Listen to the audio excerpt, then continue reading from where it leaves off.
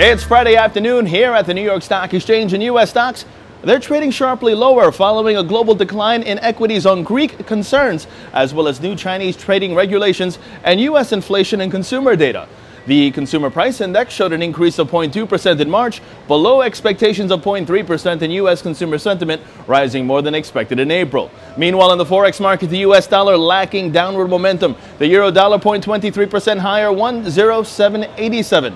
The British pound U.S. dollar pair 0.16% higher, 149.60. This while the U.S. dollar Japanese yen pair 0.05% higher, 119.06 yen. Meanwhile, the Euro Japanese yen pair that's in focus as it stands above the strong support at 127.45 while remaining on the upside. Long positions above the support at 127.45 are favored with targets at an intraday top of 128.80 and 129.35 in extension. Moving on, precious metals continue to see a positive outlook.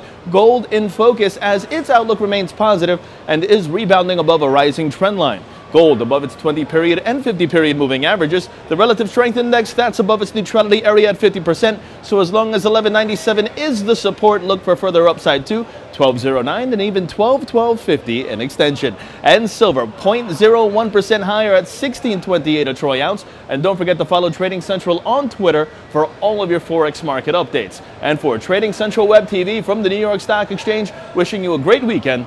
I'm James Switting.